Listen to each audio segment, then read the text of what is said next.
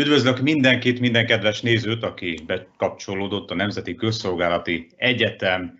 nagyon érdekesnek ígérkező virtuális kerekasztal beszélgetésébe, melynek a címe SolarWinds kibeszélő. Krasznai Csaba vagyok, a Nemzeti Közszolgálati Egyetem Kiberbiztonsági Kutatóintézetének vezetője, és az én nemes feladatom lesz a következő másfél órában végigvezetni ezt az érdekfeszítő beszélgetést, melyet Mártonfi Balázsjal, az Amerika Kutatóintézet vezetőjével, illetve Nemes Dániellel, a disztribútor elnökével fogunk majd elkövetni, és melynek célja az, hogy egy kicsit mélyebb betekintést tudjunk adni abba, hogy a csak SolarWinds ügyként ismert valójában ennek számos rétegét és számos más cégét és számos más szervezetét is tartalmazó eseménynek a jelenleg ismert mélységeit, illetve történeteit föltárjuk az önök számára.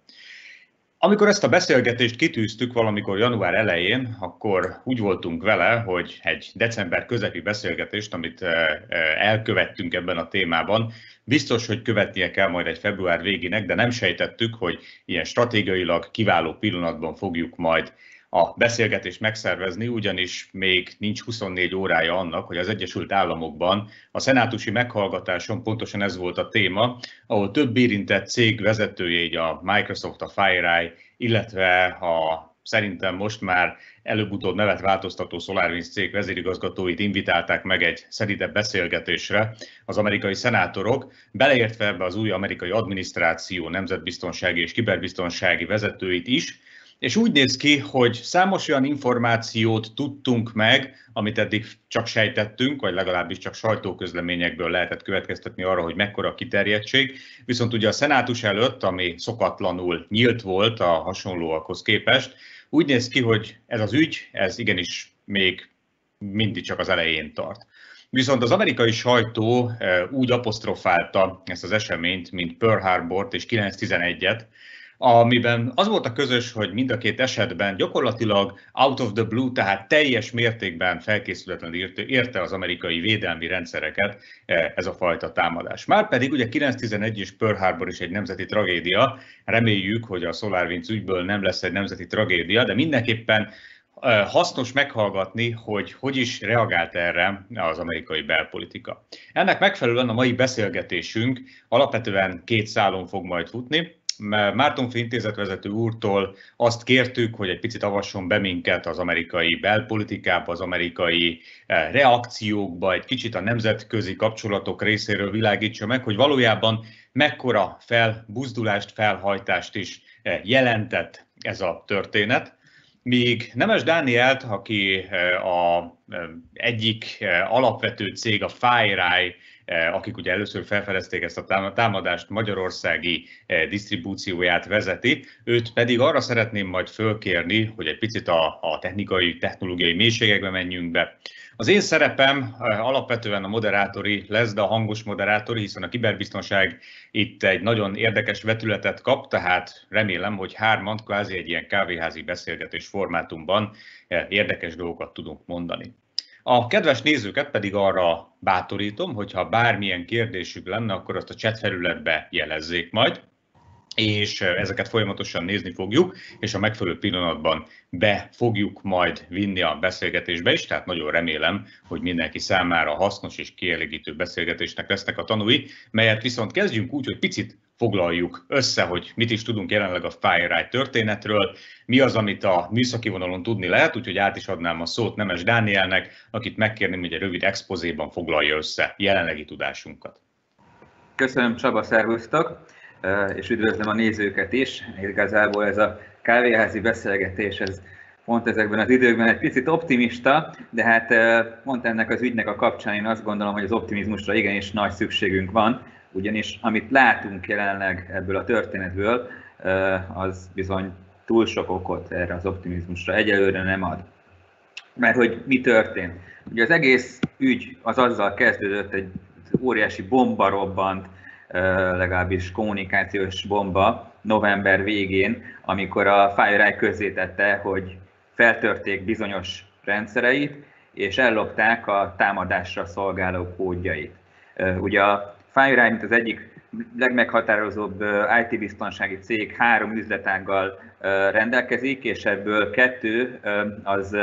támadásokat is végrehajt, ennek több célja lehet. Például azért végeznek támadásokat úgynevezett etikus hackerkedés keretein belül, hogy teszteljék az ügyfeleknek a rendszereit, és megvizsgálják, hogy esetleg egy incidensnél hogyan juthattak be a támadók. A másik pedig az arról szól, hogy támadásokról mm, szolgáltat információt az ügyfeleinek nagyon részletekbe menően, támadás típusokról, komplett támadási kampányokról, és ennek a részeként ők beépülnek a alvilági körökbe, és adott esetben a támadókat magukat megtámadják. Ez jogileg egy képlékeny terület, de attól, attól ez még így működik, és ehhez is használnak támadó kódokat, és ezeket bizony ellopták a, a valakik. Egyelőre akkor a bejelentéskor ennyit tudtunk róla. Amit még ezzel párhuzamosan a FireEye közzétett, hogy más rendszereibe nem jutottak be a támadók, illetve a támadó kódok elleni védekező eszközöket szintén közzétette és a nagy közönség számára ingyenesen hozzáférhetővé tette, ami mindenképpen egy érdekes dolog, hiszen ugye innentől az ő támadó eszközeiket újra ki kell fejleszteni, módosítani, mert, mert anélkül hatástalanná váltak, de pont azért, hogy a támadók ne tudjanak tovább támadni ezekkel az eszközökkel, legalábbis ezért ezt közzétettek. Hatalmas visszhangja volt ennek. A tőzsdén a Fire árfolyama összeomlott, viszont néhány szakember azért már akkor is elkezdte pedzegetni, hogy lehet, hogy ennek azért komolyabb mélységei vannak.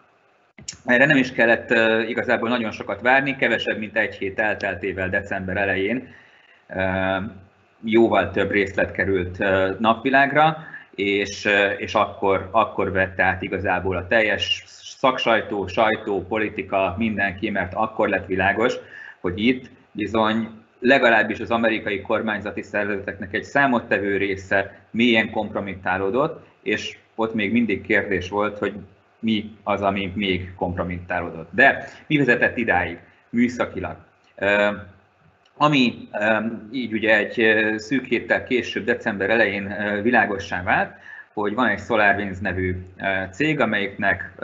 van egy Orion nevű rendszer hálózatmenedzsment eszköze, amivel cégek, intézmények tudják a hálózati eszközeiket üzemeltetni, vagy könnyebben üzemeltetni, és ennek van 30 ezer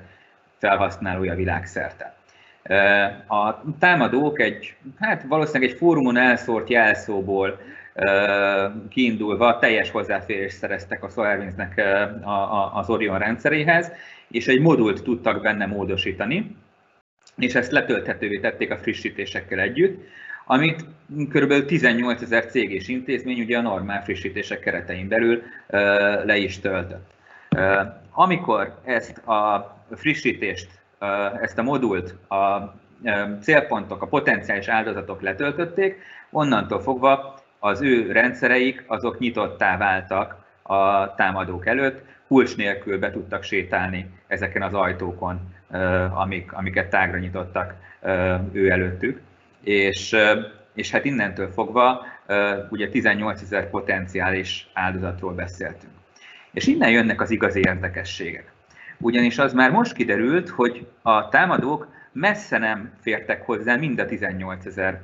potenciális áldozathoz, holott ezt nagyon, relatív nagyon kevés befektetésre, erőforrással meg tudták volna tenni. Egy töredék az, akihez hozzáfértek, vélhetően itt néhány százas számról beszélünk,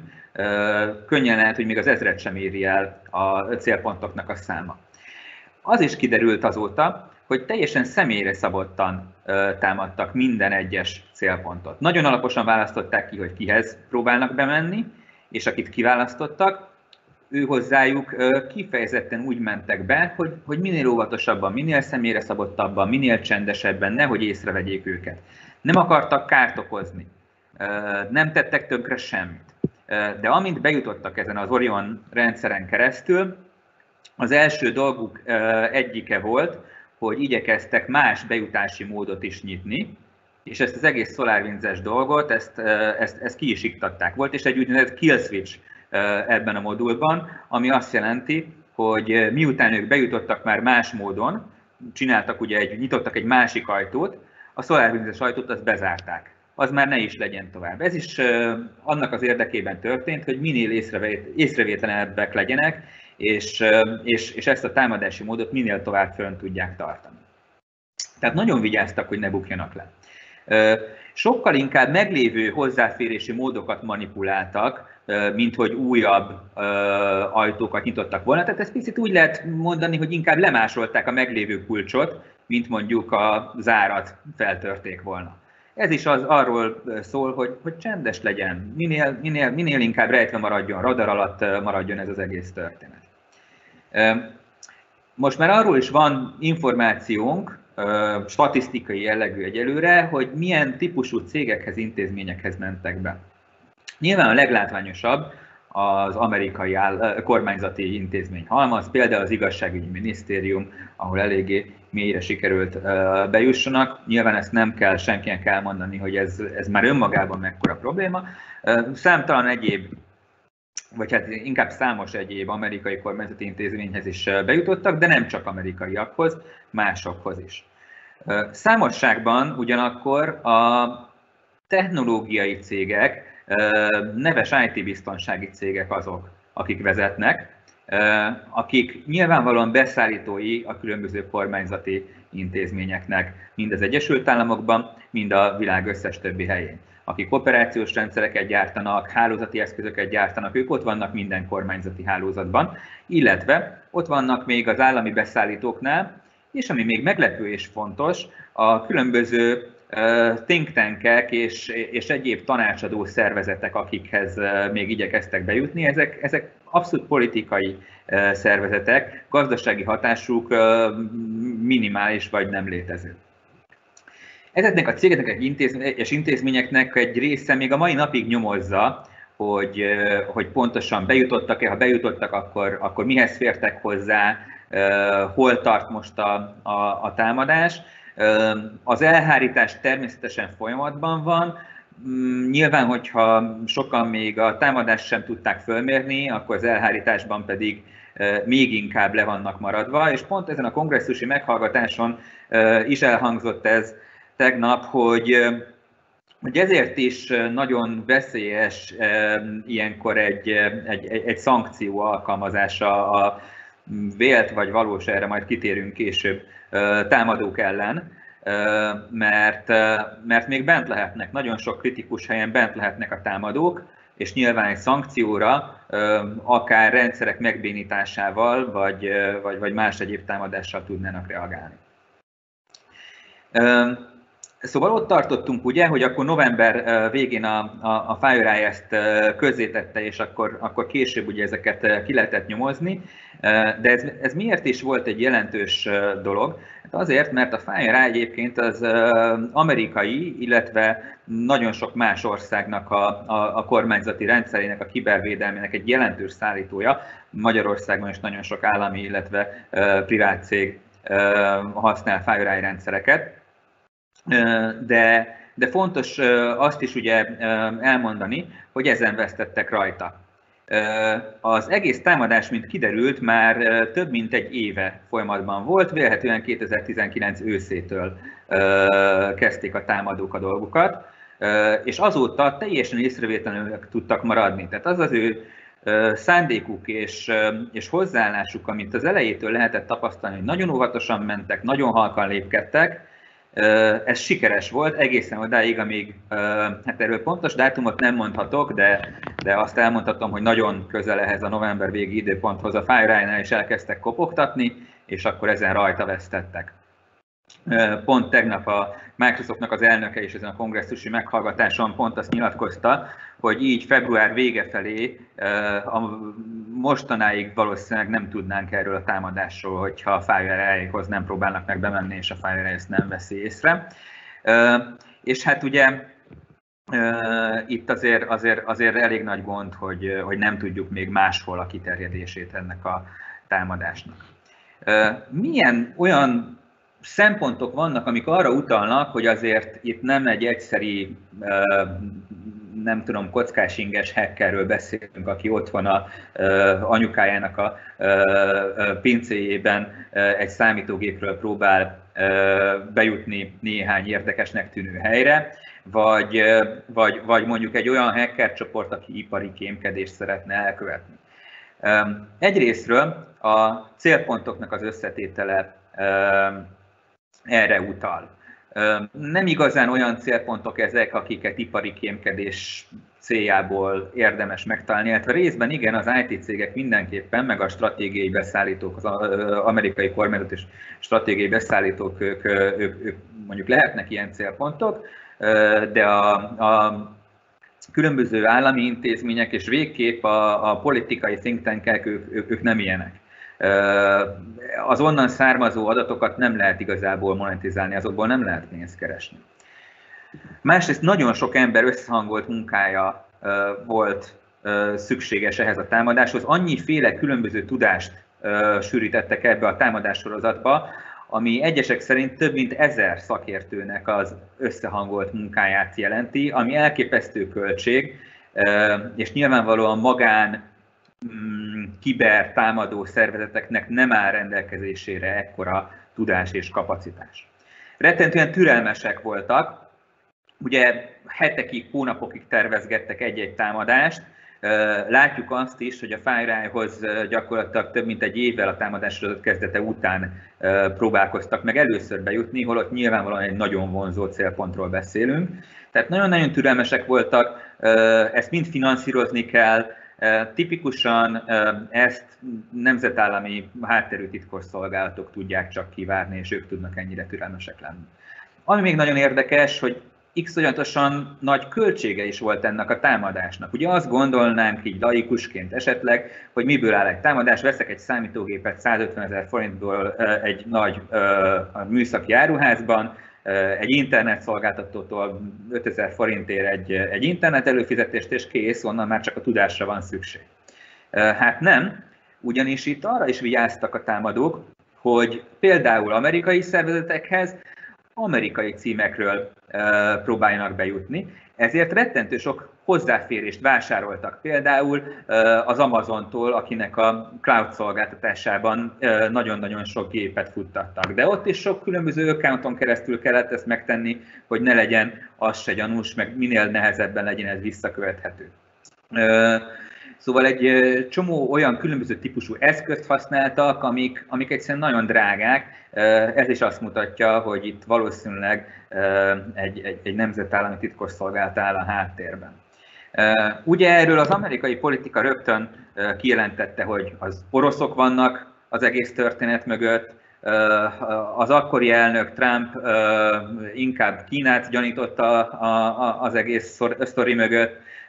de hát erről úgy is fogunk beszélgetni, hogy akkor, akkor mik azok a jelek, amik, amik bármelyik államnak az érintettségére mutatnak. Fontos itt kijelenteni, hogy,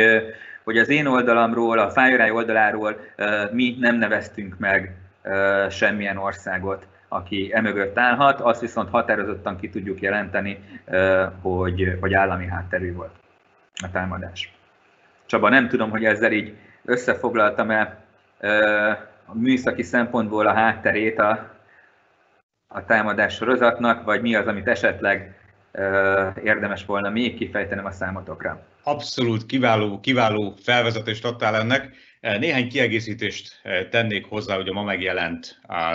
cikkekből szemlézve egy picit. Először is Ann Neuberger, aki Biden elnök kiberbiztonságért és feltörekvő fenyegetésekért felelős nemzetbiztonsági tanácsadója. Hölgy egyébként magyar származású, úgyhogy ő a, ugye a külügyminiszter Blinken mellett a másik magas beosztású magyar származásokon, magyar felmelőkkel rendelkező amerikai állami hivatalnok. Szóval ő azt nyilatkozta, illetve azt mondta a meghallgatáson, hogy összesen kilenc kormányzati ügynökség és több mint száz cég volt, aki érintett volt, és egyébként ő is, illetve hát ő nem annyira, mert nem az ő szerepköre, de legalábbis a szenátorok nagyon hiányolták az Amazon vezérigazgatóját erről a meghallgatásról, ami azért is érdekes, mert ahogy Dani, te is említetted, nagyon komoly energiákat tettek arra, hogy lehetőleg amerikai szerverekről történjen a behatolás. Ennek az oka pedig gyaníthatóan az, hogy az NSA-nek, ugye a National Security Agency-nek, akinek a feladata a kibertérből jövő fenyegetések elhárítása külföldről, illetve a külföldi hírszerzés, hát ugye a belső amerikai piacon nem rendelkezik jogosultságokkal. Ez a US Department of Homeland Security-nak lenne a feladatköre, akik éppen hát egy lefejezett állapotban találták meg ezt a történetet, ugyanis Chris Krebs, aki ugye végigvitte sikerrel az amerikai elnökválasztások biztosítását, éppen ugye novemberben kirugódott, azaz az akkori elnök elbocsájtotta őt. Tehát egy nagyon komplex és nagyon bonyolult amerikai belpolitikai szituációban érte ez a támadás az Egyesült Államokat, és én Balástól azt szeretném megkérdezni, hogy egy picit legyél szíves, avassál be minket abba, hogy, hogy hogy is áll most tulajdonképpen az amerikai eh, belpolitika, eh, miért van nagy hangsúly mondjuk ezen a SolarWinds ügyön, egyáltalán nagy hangsúly van-e ezen a SolarWinds ügyön, vagy csak mi a kiberesek, akik ugye szeretünk ezzel foglalkozni, mi gondoljuk úgy, hogy most, most ettől hangos a világ. Eh, hogyan kell elképzelnünk jelen pillanatban az amerikai belpolitikát és ezt a történetet? Igen, köszönöm, én is üdvözlök mindenkit. Egy nagyon picit mielőtt belemennénk, hogy jelenleg hogy áll, azért fejtsük és bontsuk is ki, hogy pontosan hogy is állt az amerikai belpolitikai helyzet november végén, illetve december elején. De mielőtt rátérnék, azért egy-két apró megjegyzést tennék. Ugye politikatudományilag és a nemzetközi kapcsolatok elmélet vonalán is alapvetően, amikor államok kommunikálnak egymással, nagyon eh, megválogatják általában a szavaikat, itt ugye inkább a demarsokra gondolunk, nem eh, Trump elnök tweetjeire. Tehát itt nagyon fontos, hogy még az előző két eh, előadó többszörösen ugye támadásként apostrofálta ezt a szót, az egy állami logikában nagyon mást jelent. Tehát itt alapvetően a, a kérdés, amire majd ki fogunk térni, és erről szerintem roppant érdekes eh, beszélgetés lehet folytatni, illetve pont amire utaltak is az előző előadók, hogy eh, diszkriminált vagy nem diszkriminált-e ez az esemény sorozat, ez is meghatározó kérdése, az az, hogy ez valójában kiber támadás volt-e, vagy pedig csak egy kiber hírszerzési eh, lépés. Ugye államok között a hírszerzés az a legtöbb norma, illetve jelenlegi törvényi szabályozás és multilaterális és globális kormányzási szabályozás szerint is megengedett viselkedési forma, a támadás, ugye, az viszont már nem. Tehát ezért, hogy a sajtó hogy hozza le, az mindig egy persze egy más kérdés, de a politikus logikája azért ez fontos számára, mert amint ugye kiber támadásként apostrofálja és nyíltan kimondja, sőt, el is mondja, hogy mondjuk teljesen bizonyíthatóan az oroszok voltak, és ezért ugye ettől eltérő mondatokat hallottunk decemberben kifejezetten, ugye most egy picit más a logika, mert akkor utána ugye választ követel az amerikai állampolgár. Tehát itt milyen, milyen helyzet is volt Washingtonban november végén. Hát egy roppant komplex béna kacsa helyzet lett volna normálisan is, amikor ugye egy normális átmenet zajlik, de nem csak az zajlott. Érdemes még azért itt ezt mindenképp elmondani, hogy ki, ki mennyit foglalkozik Amerikával, az amerikai excepcionalizmus és globális hegemon szerep, egyéni identitásban való megélése azért fontos az amerikai választópolgárnak, illetve az amerikai állampolgárnak, ők úgy gondolják, hogy hát ők mégiscsak amerikaiak, és valamilyen módon, és akkor itt nem mennék bele ennél részletesebben, de különbek mint a többiek. Ugye. Obama elnök ezt próbálta a saját elnökség alatt finomítani, mondván, hogy hát az amerikai excepcionalizmus az olyan, mint a német excepcionalizmus, vagy mint az indiai excepcionalizmus, de persze itt azért az átlag amerikai választópolgár itt azért mást gondol, tehát a sebezhetetlenség mítosza, ami ugye alapvetően geopolitikailag az Egyesült Államok nagyon sok szempontból ezt élvezi ezt, a, ezt az előnyt, ugye távol más országoktól tengerek által elszeperálva, illetve gyenge szomszédokkal, ez ugye kibervonalon egy teljesen más vonalat nyit meg. De térjünk vissza egy picit november végére, decemberre. Ugye normálisan a, tehát minden négy évben, már nagyon régóta, egy ilyen esetben úgynevezett béna kacsa elnök van. Ugye november 3-án megtörténik az elnökválasztás, kijelölésre kerül, hogy kinyerte azt a versenyt, és utána január 20-ig egy ilyen átmeneti időszak van, az angol is ugye lame duck, tehát béna kacsa helyzetben írja ezt le, ami azt jelenti, hogy az akkori elnöknek hát kevesebb hatalma van, mert ugye amennyiben nem került újra választásra, mint itt is, annyiban kevesebb politikai legitimáció és kevesebb politikai tőkéje van. Tehát ha csak egy normális ilyen esetben történik ez a támadás, akkor is valószínűleg másfajta reakciót kapunk. Itt ugye annyival volt komplexebb, hogy Washingtonban december 15-én várták az elektorok szavazatainak a számolását. Ugye mindenki emlékszik, hogy ebben az elnökválasztási kampányban eszmetlenül felhevült érzelmi reakciók voltak, nem csak magára a szavazásra, hanem a szavazás utáni szavazatszámlálásra, illetve a különböző jogi, politikai és hát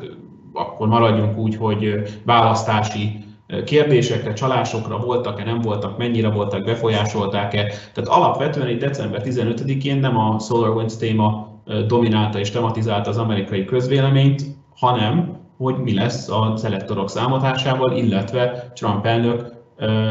átadja el majd január 20-án az elnöki hatalmat, vagy nem. Tehát ez volt a fő téma. Ha nem ilyen politikai, belpolitikai helyzetben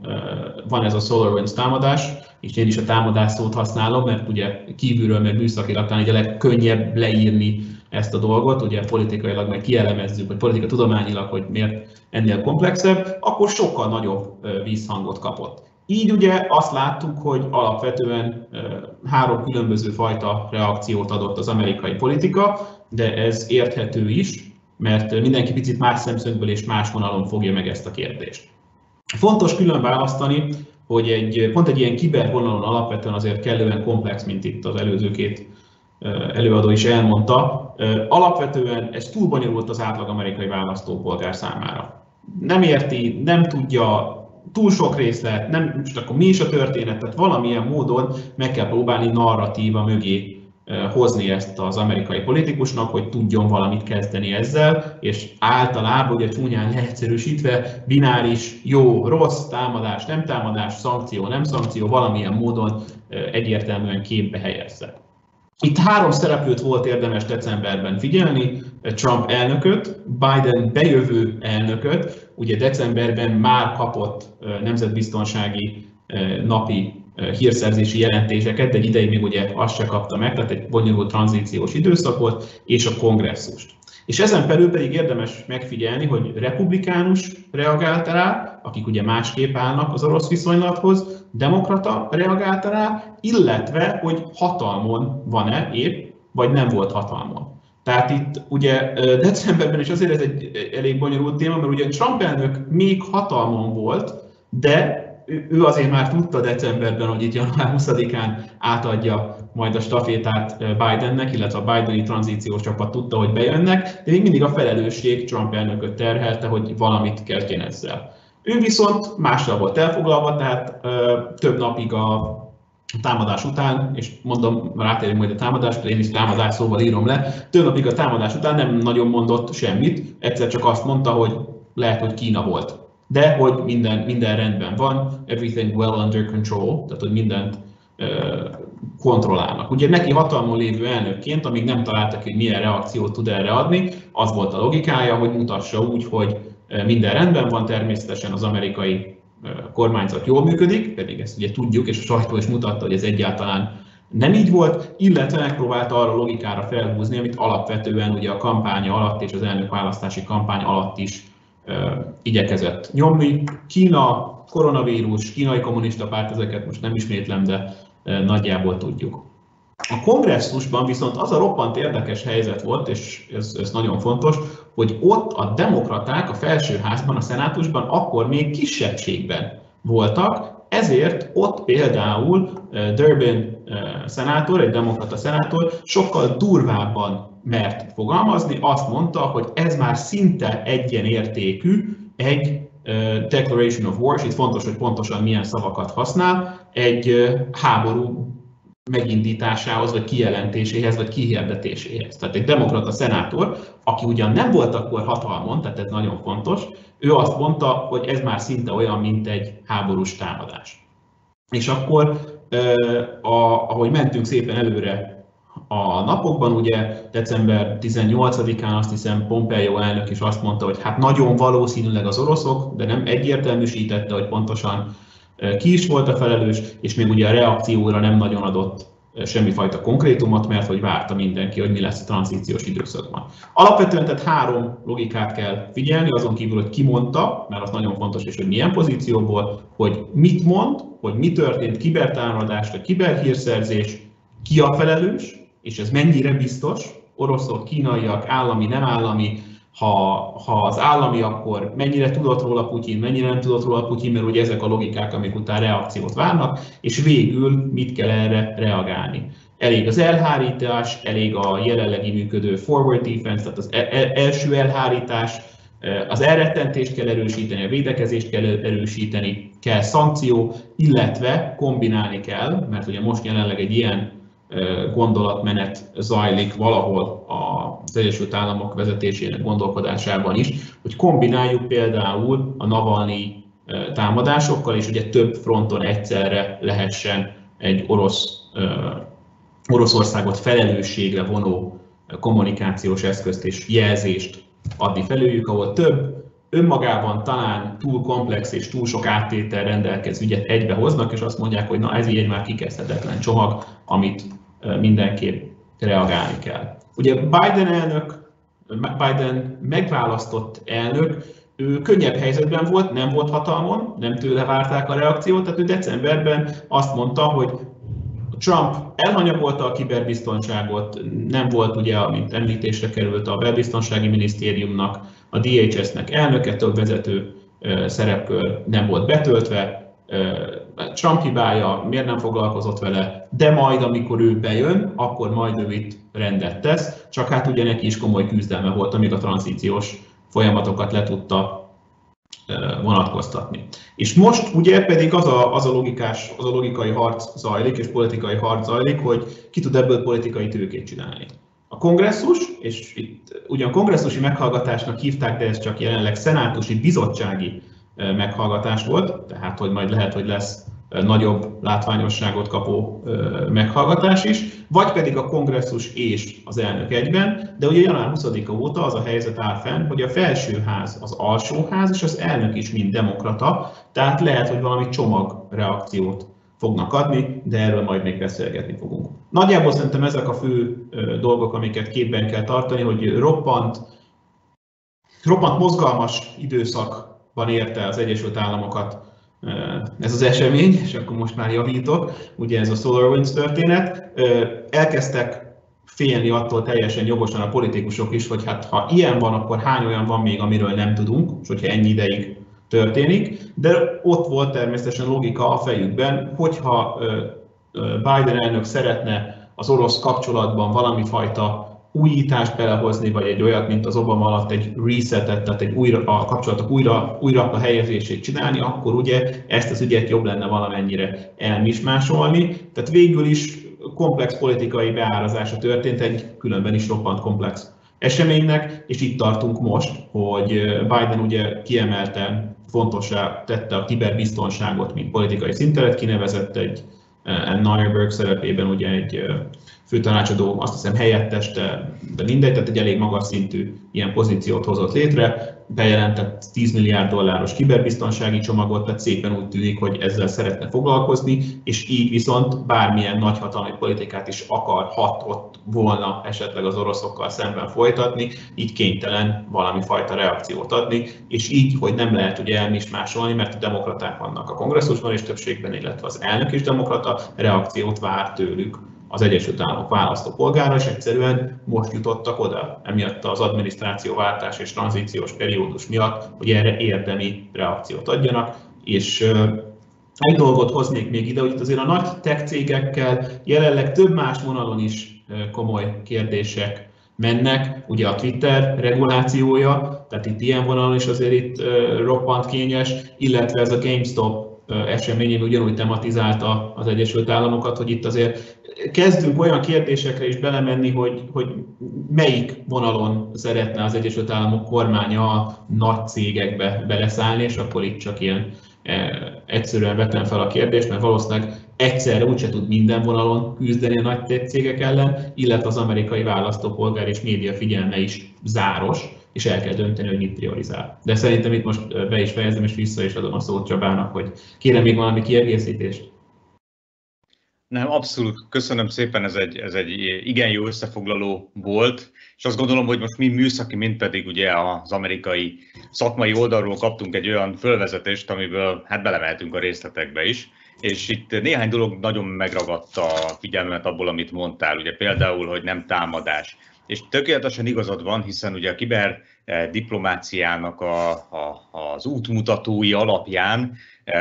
ezt ugye a Teli Manuel, a Talini kézikönyv foglalja össze tudományos szempontból igen kiválóan, hogy mikor és mit lehetne elvileg nemzetközi jogilag támadásnak nevezni. Ez valóban ugye egy kellett, ebben a pillanatban egy kellemetlen incidens, és jelen pillanatban miután még nem tudjuk, hogy mire is ment ki a játék, azaz milyen információk lettek eltulajdonítva, vagy az információkon túladott esetben, ahogy és megint hadd fogalmazok keményebben, hiszen én ugye mérnök vagyok, és mérnökként ugye meg ez megengedhető nekem, tehát nem lehet tudni azt, hogy, hogy jó-rossz szokás szerint esetleg beépítettek még valami pusztítókódot is ezekbe a dolgokba, e, itt a SolarWinds-es backdoorokba. Tehát a fene se tudja, hogy mi történik, de valóban nagyon-nagyon kényesen kell e, odafigyelni arra, hogy a hivatalos kommunikációval mi is történik. Nem véletlen, hogy szintén a sajtóhírek alapján e, a szankciók előtt azért elég alaposan, ez egyébként Amerikában jellemző is, elég alaposan fontolgatják, hogy egyáltalán hogyan magyarázzák meg majd a leendő szankciókat, hiszen a nemzetközi jog és a diplomácia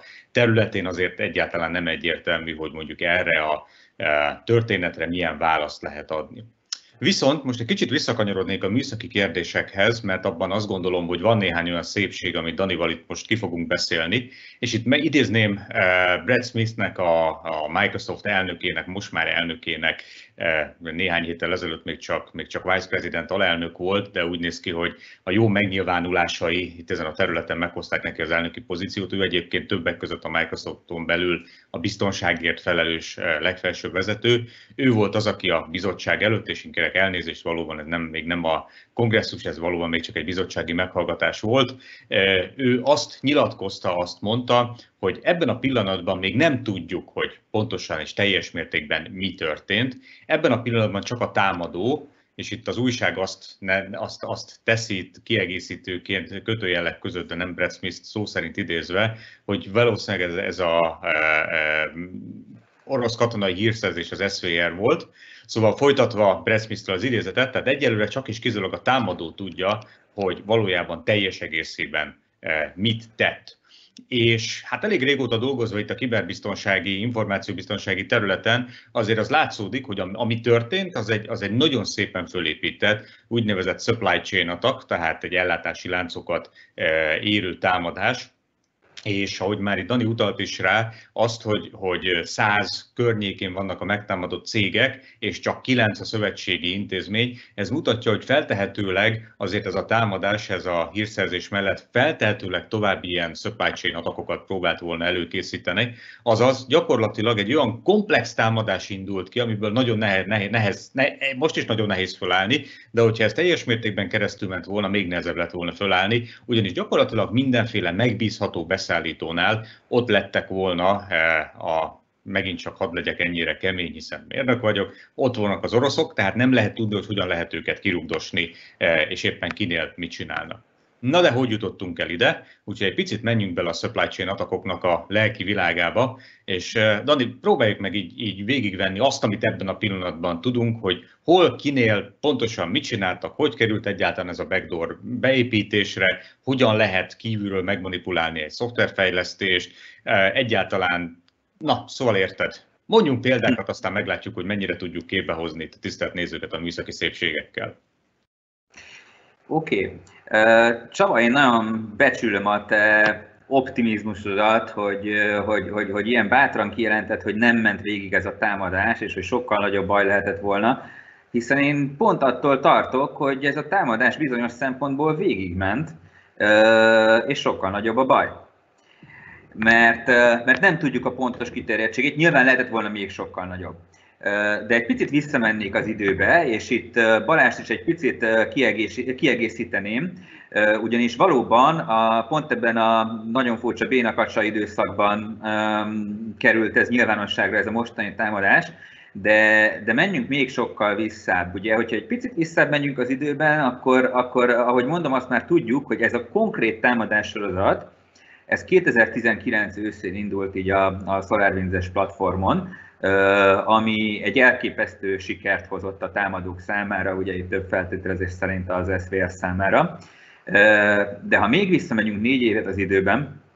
ha, ha, ha ugye a mai világban még lehet négy évre visszamenni, és ez már nem bőven időszámításunk előtt van, akkor szintén választások előtt óriási botrány volt amerikai választások előtt abból, hogy akkor a, a demokrata pártnak a rendszereit törték föl szintén az oroszoknak tulajdonított támadás keretein belül. Igazából hát talán ennyit kifecseghetek, én, én, én nem sokkal, egy pár héttel később ebédeltem Kevin Mandiával, a FireEye-nak a elnök vezérigazgatójával, és ilyen, ilyen teljesen casual módon mondta, hogy ja, hát persze, hát ez teljesen egyértelmű volt a helyzet, ugyanezeket a dolgokat látjuk Észtországban, ugyanezt látjuk Ukrajnában, minden jel az teljesen egyértelműen arra mutatott, hogy ugyanazok a támadói csoportok, nyilván ő nem mondja ki, és nem is mondhatja ki még egy ilyen ebéd során sem, hogy azok az oroszok, de hát azért fölmerül a kérdés, hogy kik azok, akik ugyanúgy támadnak észteket, meg ukránokat, különösen egy 2015-ös 6-os időszakban. És akkor, hogyha itt most visszapörgetünk 2019 őszéig, akkor, akkor felmerül a kérdés, hogy, hogy tulajdonképpen akkor, amikor már azért a választások az amerikai rendszerben zajlanak, mert akkor határozzák meg, hogy melyik pártnak ki lesz az elnök jelöltje, az, az, az már vastagon választási időszak náluk, hogy valóban csak akkor indult el ez az egész, vagy már korábban dolgozott rajta a támadó, ha itt ugye elfogadjuk azt a hipotézist, hogy, hogy, hogy nemzetállami titkosszolgált áll az egész történet mögött, és én továbbra se szeretném azt kimondani, hogy az oroszok, ezt, ezt, ezt majd ti megteszitek, hogyha ha, ha így helyesnek érzitek. Meg valószínűleg a válasz az az, hogy nem. Ennek már jóval korábban el kellett indulnia ennek a támadássorozatnak. Más kérdés, hogy kaptak egy, egy aranybányát a, a támadók ezzel, hogy, hogy, hogy ilyen sok helyre, ilyen könnyen tudtak egyszerre bejutni, és még ezzel együtt is, hogy azért az idő ott már sürgethette őket, nagyon-nagyon lassan uh, haladtak uh, tovább. De akkor, hogy a kérdésedet is megválaszoljam, Csaba, hogy, hogy, hogy mit jelent ez a supply chain attack? Ez azt jelenti, hogy a beszállítói láncolaton keresztül uh, jutnak be. Az eredeti kifejezés ez sokkal inkább privát cégek irányából indult el. Képzeljünk magunk el egy autógyártót, aki Hát most egy picit ez változóban van, de az elmúlt időszak az arról szólt, hogy mindent kiszervezett igazából. Tulajdonképpen a, a, a tervezésnek egy részét és a marketinget leszámítva. A gyártást, az értékesítést, mind-mind-mind igyekeztek kiszervezni alvállalkozóknak, néha komplet autókat gyártanak alvállalkozók, de alkatrészeket mindenképpen, az értékesítést azt ugye a, a, a kereskedőhálózat végzi, és, és egy pár éve jött be a köztudatba ez a supply chain attack, hiszen nyilvánvalóan például egy autógyártó, meg a nagy cégek nagyon odafigyelnek arra, hogy a biztonságuk rendben legyen. Igen ám, de ma már, amikor az összes termelési rendszer, logisztika, minden elképesztően informatizált, összefüggenek a különböző információs rendszerek, és az autógyártónak vagy a nagy cégnek az információs rendszerei nagyon sok ponton össze vannak kötve a kisebb beszállítóknak a, a, az információs rendszereivel. És például, ahogy, ahogy az autóiparban vannak úgynevezett Tier 1 beszállítók, akik közvetlenül szállítanak be az autógyártóknak, nekik is vannak beszállítóik, ők a Tier 2 beszállítók, és így tovább. Egyre kisebb cégekig jutunk el, akiknek egyre kevesebb pénzük és egyéb erőforrásuk, például tudásuk van a kibervédelemre. És a támadók ezt elkezdték felfedezni, hogy próbálkozhatnak ők bemenni a nagy autógyártóhoz, de ez egy fájdalmas, költséges történet, hiszen neki komoly pénze,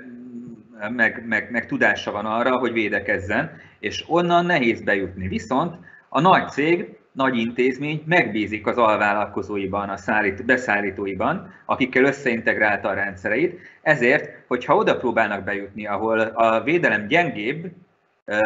de ezekben a gyengén védett rendszerekben a nagy cég, amelyik elven jól védett, megbízik, tehát a védelem nem terjed ki az alvállalkozóra, hiszen ki gondolná, hogy az alvállalkozója fogja támadni, hát nyilván nem az alvállalkozója fogja támadni, akkor, akkor ezen keresztül könnyen bejuthatnak. És ezért a támadók elkezdték ebből az irányból felépíteni a támadásokat. És itt is hasonlóképpen alakult a történet, Ugye a, a, találták ezt a SolarWinds nevű rendszert, amit mindenki használ, vagy legalábbis nagyon sokan használnak, mindenhol ott van, és hogyha egy helyen sikerült ott bejutni, akkor, akkor elég sok célponthoz sikerült lehetett a, a, a végén elérni, és, és ezt használták ki a támadók, így néz ki a supply chain tulajdonképpen. Köszönöm szépen.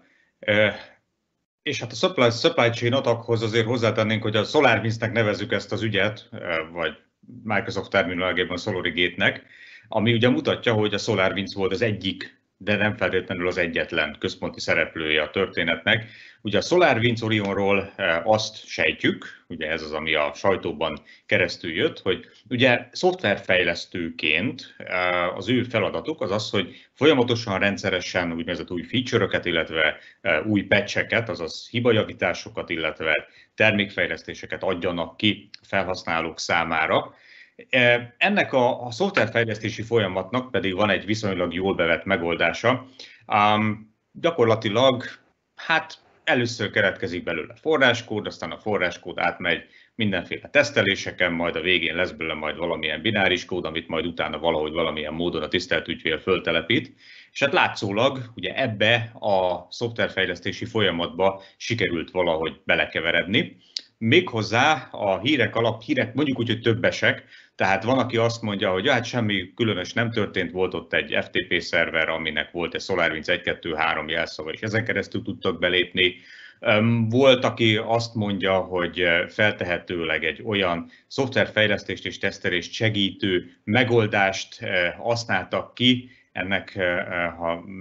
nem emlékszem pontosan a nevére, de arra biztosan emlékszem, hogy hát alapvetően orosz fejlesztők vannak mögötte, tehát egy orosz származású szoftverről van szó. Sőt, az is fölmerült egy bizonyos időben, hogy miután a SolarWinds-nek vannak kelet-közép-európában fejlesztő központjai, konkrétan Csehországban és Belorussziában, Fehéroroszországban, mi történt, hogyha tulajdonképpen oda beépítettek néhány olyan hírszerzőt, ez megint csak ugye az orosz műveleteket ismerve két-három évig beépíteni valakit, ez igazán nem idegen ettől a környezettől. Tehát mi volt, hogy beépítettek valakit, és ő volt az, aki végrehajtotta magát a támadást. Egy biztos,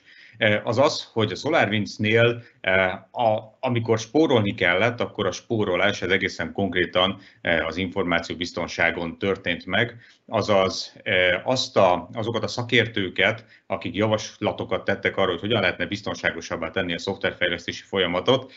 nem fogadták meg ezeket a tanácsokat, sőt az a szakértő, aki ezt javasolta, ő el is ment később nagyon hamar a cégtől, és azt lehetett látni, hogy a SolarWinds-et is letolt nadrággal érte az egész helyzet. És sajnálatos módon a, a supply chain atakoknak ez a viszonylagos sajátja, hogy a legtöbb esetben a fejlesztő cég, aki ugye nem információbiztonsági terméket fejleszt, hanem valami olyan dolgot fejleszt, amitől a világ működik, egyszerűen nincsen eh, képessége arra, hogy ezeket az információbiztonsági eh, tevékenységeket beépítse a folyamatba. És itt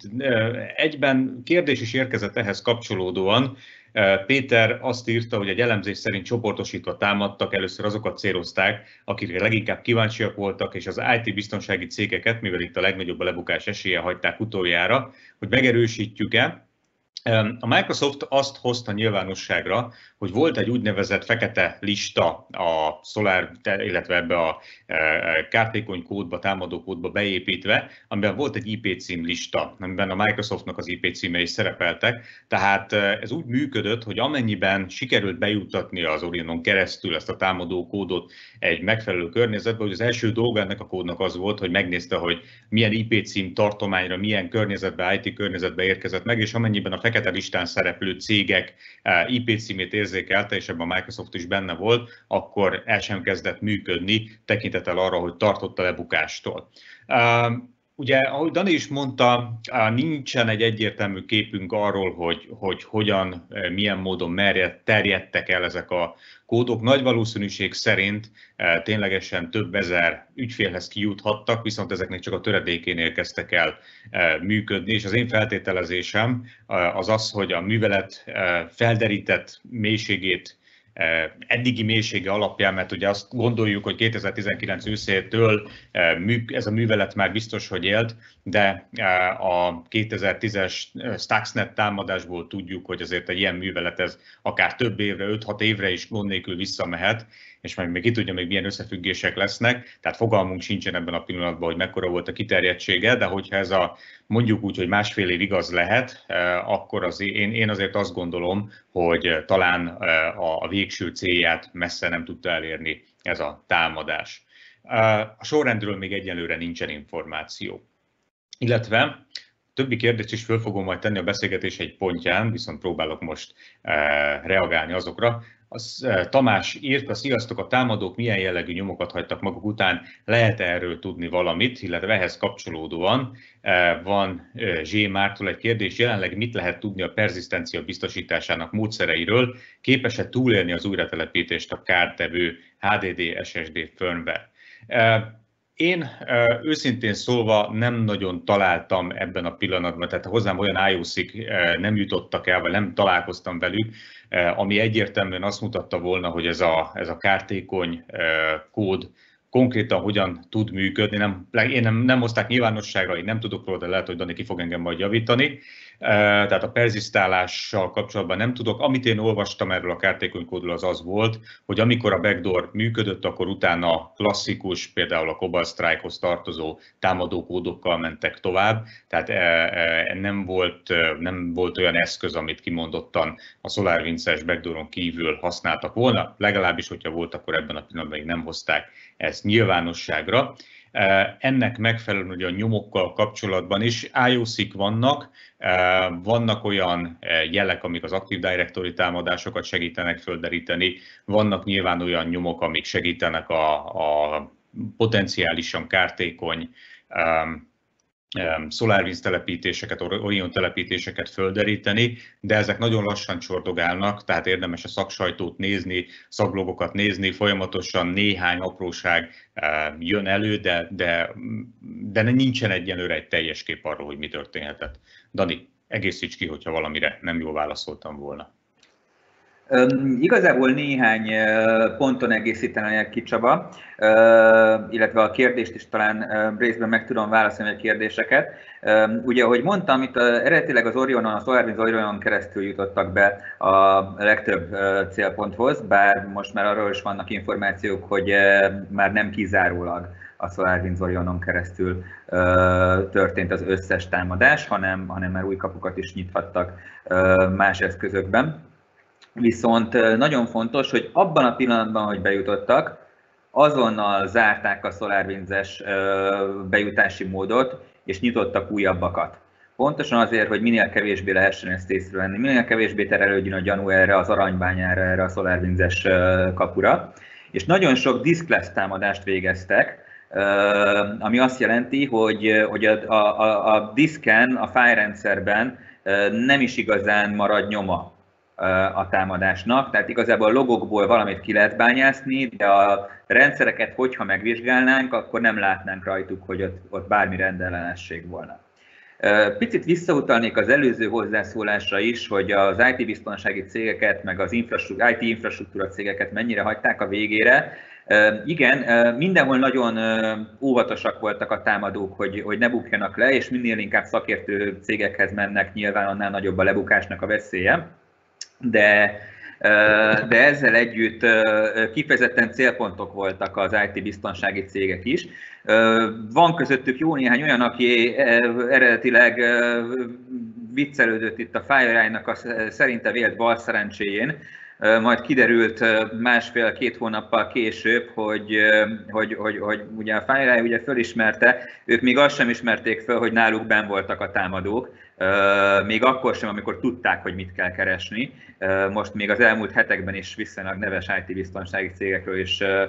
kiderült, hogy, hogy bent voltak. De Például, hogy, hogy, hogy egy vicces momentumot is említsek, ben voltak egy WinCore Windows nevű rendszerben is, ami hát ugye adná magát, hogy, hogy ez valahogy a Windowsnak a magját jelenthetné a Windows operációs rendszernek a magját. Hát nem, azért a támadók ugyan nagyon-nagyon elképesztően profik voltak, de hibázni ők is hibáznak. Ez a Wincore Windows egy ablakgyártó cég, ahova sikerült betörni tehát azért, azért, azért itt sem tökéletes. És minden. Viszont van arról is információnk már valamilyen szinten, hogy, hogy mit vittek el, mihez fértek hozzá, és, és ezek azért érdekesek. Belső dokumentumokat és e-maileket vittek el, de például teljes mailboxokat igyekeztek nem letölteni. Tehát konkrétan célzottan tudták, hogy mit keresnek, feldolgozták az információt, és miután ez megvolt, visszamentek újabb e-mailért, vagy e-mailekért, de nem töltöttek le teljes mailboxokat, nehogy gyanúsá váljanak. A különböző szoftverfejlesztő cégektől, meg a, a kormányzati beszállítóktól tudást vittek el, know-how-t vittek el, tehát szoftverkódokat például, hogy, hogy egészen konkrétan fogalmazzak, ami okozhat még nekünk problémát, sőt, valószínűleg már okozott is, ezért is mondom Csaba, hogy nagyon optimista voltál, amikor nem időhiányában nem befejezett támadásról beszéltél. Szerintem itt még azért fogunk érdekességet látni, ugyanis a szoftverkódokban találhatnak hibákat, amik hasonlóak a SolarWinds-es hibához, és amin keresztül továbbra is be fognak tudni jutni. Ezért is nagyon óvatos most itt szankciókkal kapcsolatban a, a, a vadi új amerikai kormányzat is.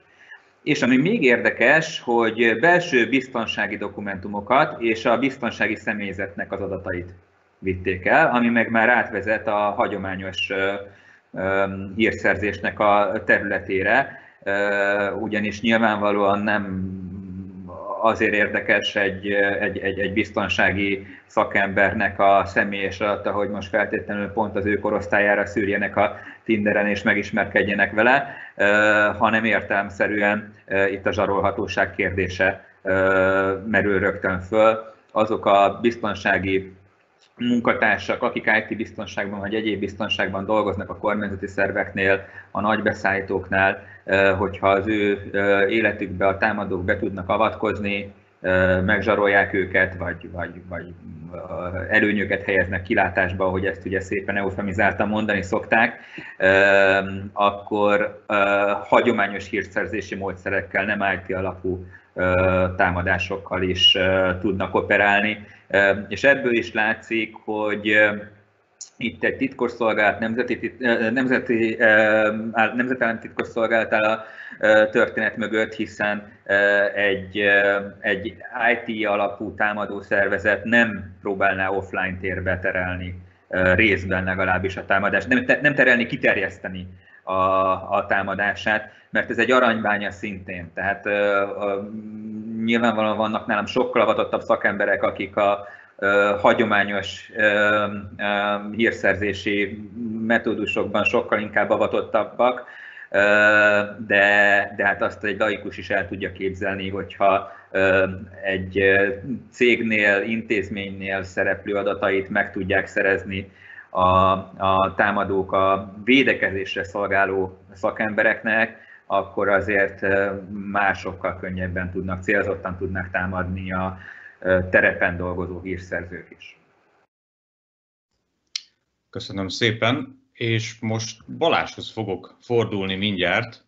mert hogy itt döbbenten hallgatjuk szerintem mindannyian azt, hogy milyen kiterjedésű volt ez a támadás, miket vittek el, mi történik. Beszélgetésünk alatt érkezett hozzám nagyon friss, ropogós hír, amit meg is köszönök, hogyha itt van a küldője, ami úgy néz ki, hogy eh, Oroszországhoz kapcsolódó méghozzá a GRU-hoz, tehát ugye eddig az SVR-ről beszéltünk, a katonai hírszerzésről, a GRU ugye a civil eh, hírszerzés, tehát a GRU éveken keresztül támadta az Egyesült Államok villamosenergia hálózatát, ami nem egy feltétlenül egy új hír, hiszen láttunk már ilyet, illetve ezt korábban is többször közzétették, de egészen érdekes, hogy gyakorlatilag órákkal a, a, a bizottsági meghallgatás után előjön a GRU, tehát a másik orosz titkosszolgálat neve is, méghozzá a Sandborn-nak nevezett csoport, az APT-28-nak a, e, a szerepe is. Ugye azt kell tudni, hogy Oroszországhoz alapvetően két nagy hacker csoportot szoktak hozzákapcsolni, az APT-27-et és az APT-28-at, más téven a Kózibert és a Fencibert, hol egyik, hol másik hajtja végre ezeket az akciókat. E,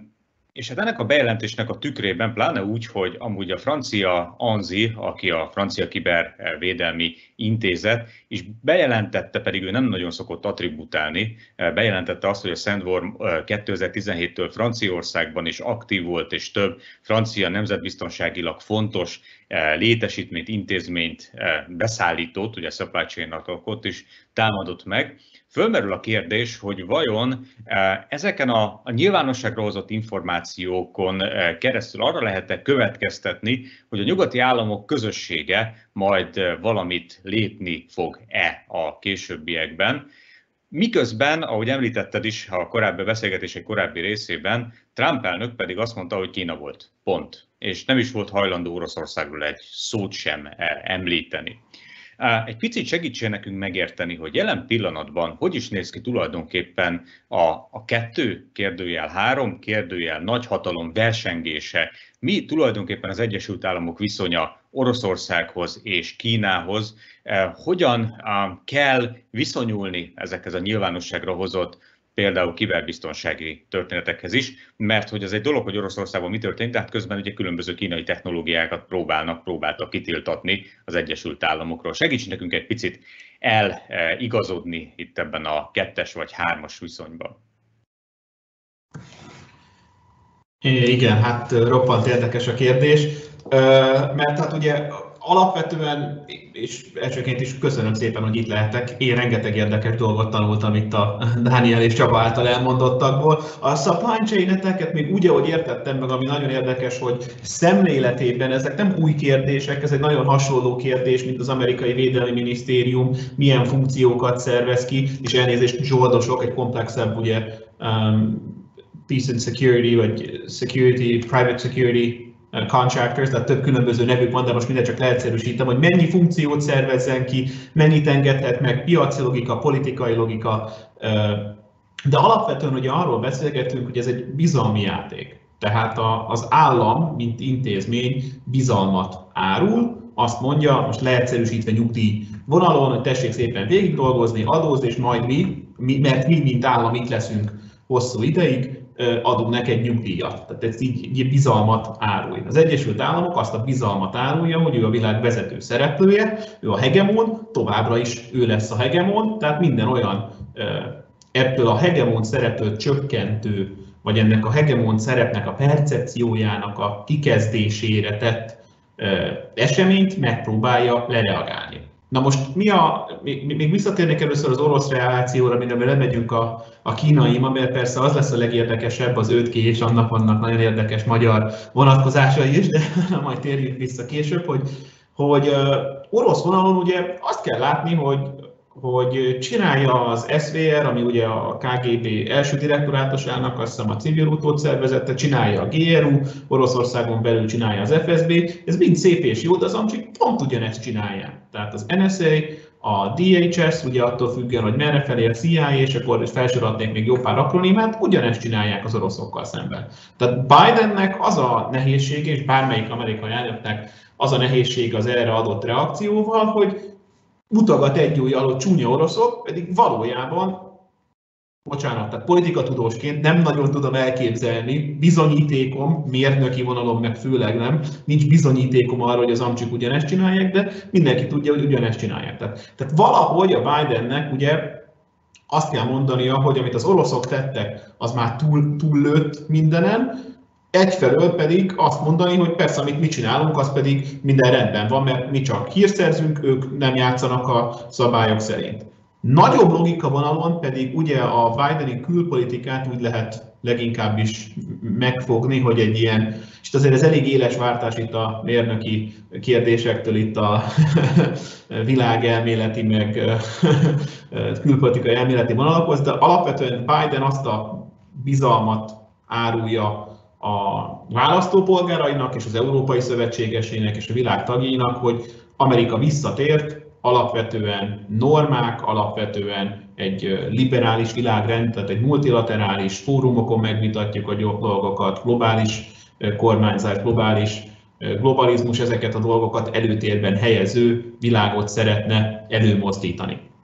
Na most ebbe egy olyan folyamatra adott kiemelkedően durva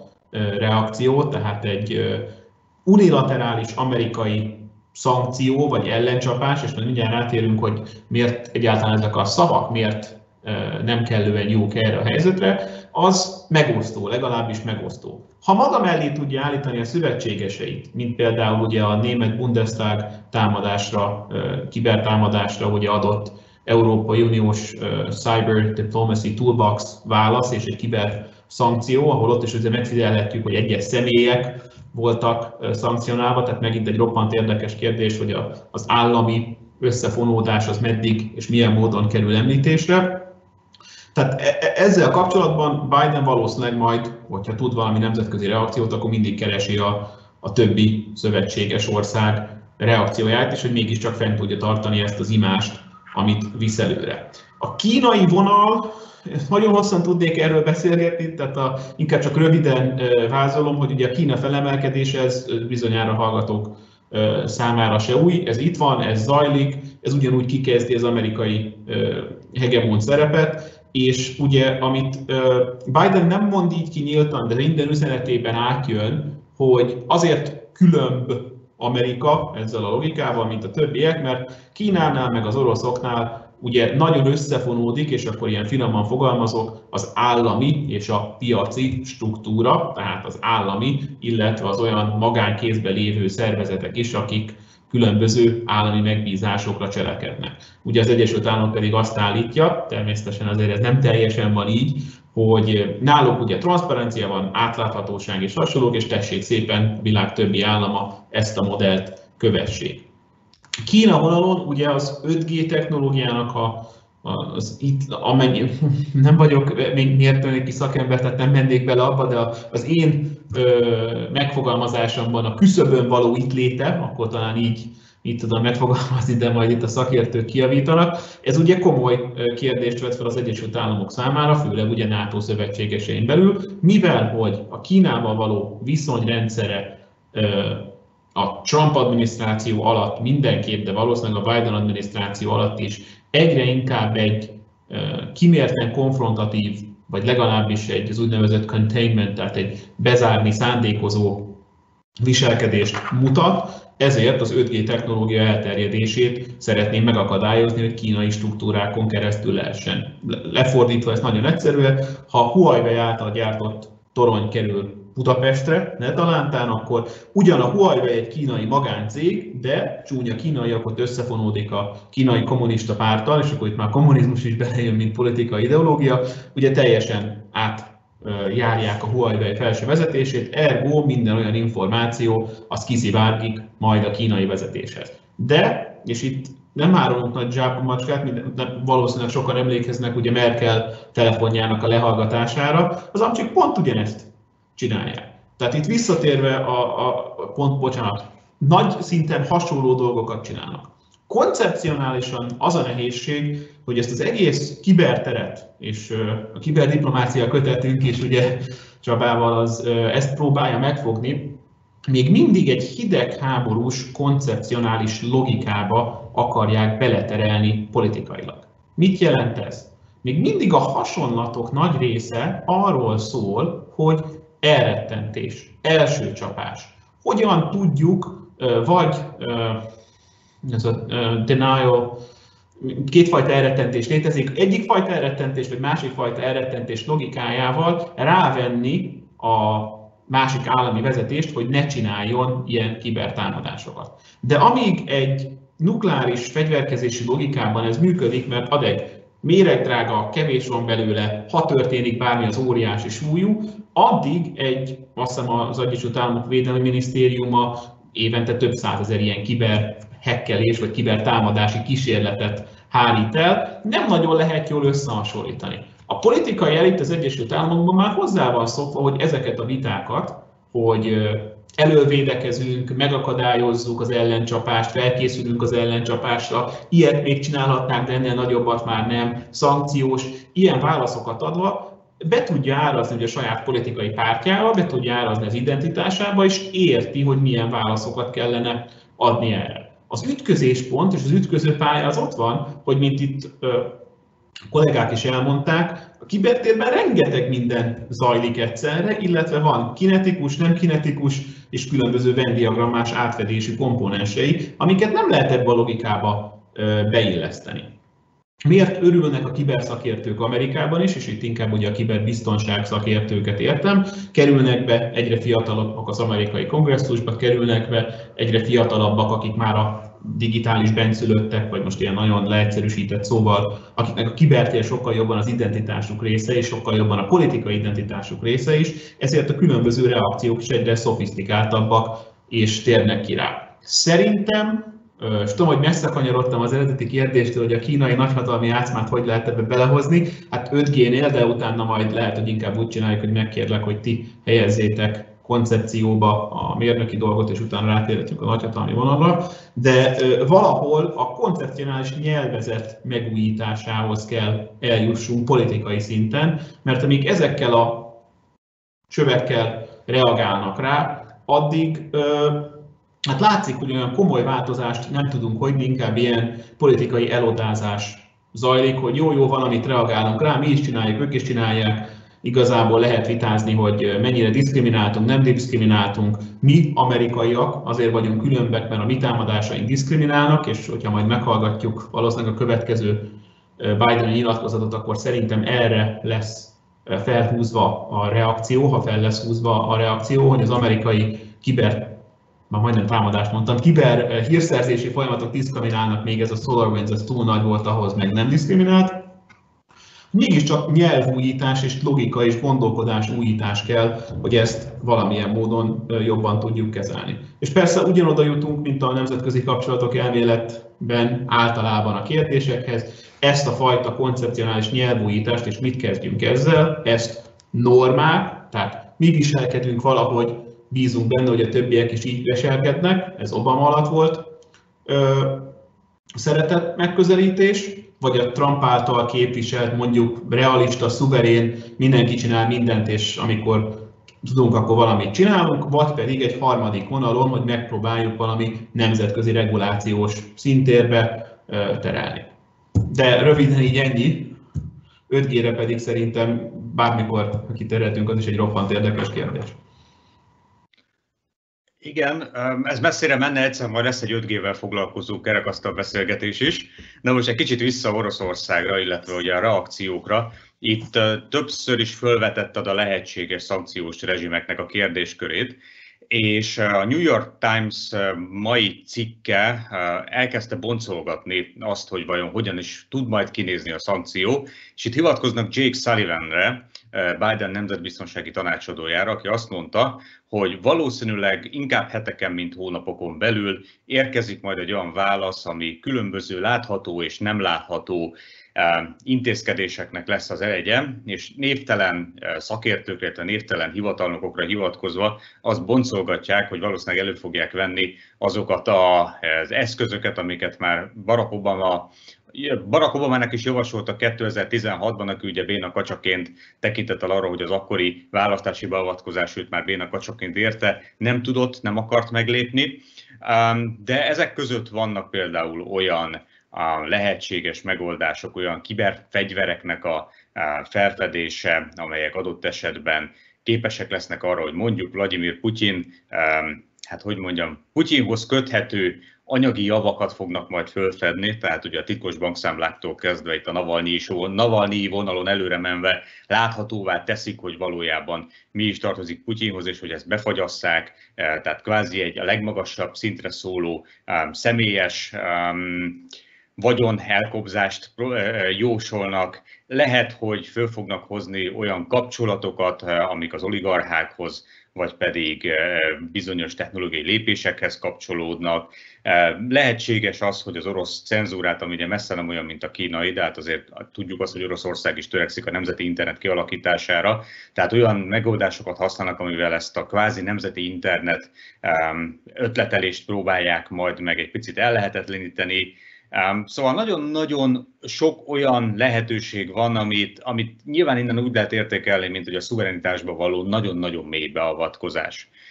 Röviden, mi a véleményed? Megmerik-e, meg fogják-e lépni ezeket a nagyon is látható, és mindenképpen Oroszorsz, az oroszországi politikai berendezkedésre hat, hatni képes lépéseket, vagy, vagy nem? Mi a véleményed erről? Gond, nekem szólt a kérdés, igen. Szerintem, mivel hogy egy ilyen elrettentési logika mögött zajlik a gondolkodás, én úgy gondolom, hogy a, lesz válasz, tehát ugye azt látszik, hogy a Biden adminisztráció ezt a, a kiberbiztonságot, és ezt csak így politikai hívószóként használom, ennél ugye komplexebb a történet, ezt igenis prioritásként kezeli. Én, ha én lennék a Nemzetbiztonsági Tanácsadója, azt javasolnám, hogy egy legalább két vonalon lévő választ kell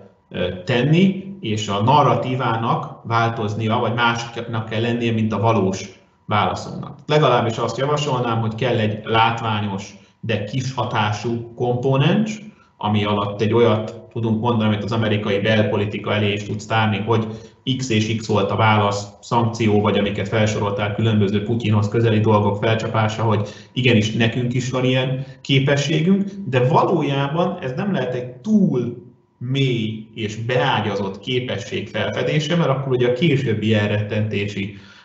potenciából vesz vissza, és mellette azt kell mondani, hogy mellette pedig csináltunk olyan dolgokat is, mondja ezt az amerikai adminisztráció, amiket kiberbiztonsági és a későbbi elrettenítési potenciálunk megőrzése véget nem ö, rakunk a publikum számára. Tehát azt fogják mondani, hogy egy appropriate mix, tehát egy, ö, egy helyes ö, mix, vagy helyes összezárt, vagy összekevert választ kaptuk, ahol ugye van egy látványos hivatalos válasz, és el tudják mondani, hogy van egy kevésbé látványos, de egyáltalán nem látható, de komoly csapásmérő válasz. És ennek az lehet a trükkje, vagy az lehet a logikája, hogy ugye az, ami nem látszik, azt ugye ők el tudják mondani az amcsik, hogy nagy válasz volt, viszont Moszkvában pedig azt tudják mondani, hogy ó, valójában itt nem történt semmi, csak az a hivatalos válasz, és picit másképp tud beárazásra kerülni. Ezt, ezt a javaslatot gondolom, hogy biztos vagyok benne, hogy lerakták Biden elé egy ilyen kompozíciós javaslatot. Ennek ugye az a lényege, még visszatérve hogy az elrettentési logika, elrettentési logikás gondolkodásmódhoz, hogy egy úgy, úgynevezett escalatory ladder, ezt mindjárt megpróbálom magyarul szépen megfolyamazni, tehát ugye elrettentés olyan válaszcsapás, még nagyobb válaszcsapás, tehát egy fokozatosan növekvő lépcső, vagy fokozatosan növekvő létrának a logikájából kikerüljenek már az elején. Tehát ne legyen az, hogyha most bármilyen durva reakciót adnak, akkor ugye az oroszok, akik hivatalosan december 13-án az orosz a washingtoni nagykövetség azt cáfolta, hogy bármifajta köze lenne az Oroszországhoz, ne legyenek olyan belpolitikai kényszerben, hogy még ennél durvább választ is adjanak. Tehát, hogy elképzeljük, hogy ha, ha mindent csak hivatalosan nagy, látványos, durva válasz lesz, akkor beleesett egy ilyen növekvő létrás gondolkodásmódba. Az ebből való kikerülés ezen fajta logika mentén pont egy olyan dolgot mondana, hogy bejelentjük, hogy hivatalos, látványos, de nem nagy hatású, és bejelentjük, hogy csináltunk, nem fedjük fel pontosan mit, egy csomó nem látható dolgot, az oroszok pedig valójában track two, tehát másodlagos diplomáciai folyamatokon pedig lebeszélik, hogy akkor pontosan ez hogy is kerül beárazásra. Röviden összefoglalva, szerintem reakció lesz, tehát belpolitikailag nem megengedhető. Visszatérve az első, az e-, első megjegyzéseimhez, jelenleg demokraták vannak az alsóházban, a felsőházban és az elnöki helyen is, hatalmon vannak, nem lehet elkenni, tehát nem lehet azt mondani, hogy hogy a másik párt blokkolja, ezért nem történik semmi. Nem lehet azt mondani, hogy a kongresszus blokkolja, ezért csinálja az elnök, az elnök még nem tud a kongresszusra mutogatni, mert ugye egy párt alatt vannak. Tehát valami válasz lesz, sőt, Ugye általában az amerikai szankciós válaszok legalábbis két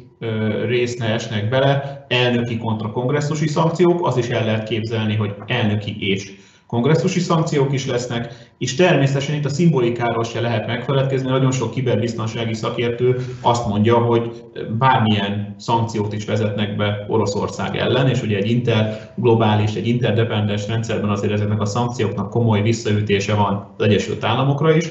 hogy bármit is vezettek be, még nem sikerült elrettenteni vagy eltéríteni az oroszokat az eddigi viselkedésüktől. De ugye, mint ahogy a, az előző velek felválaszt logika által, nem is feltétlenül mindig ez a cél, hanem egy belpolitikai kommuniké, egy hivatalos, látványos Moszkvának zajló kommuniké, és ennek a valamilyen való módon megtestesítése. Hát azt gondolom, hogy mi itt a műszaki oldalon pedig csak pislogunk. Van egy ilyen kérdés, Daniel szerintem nekünk szól,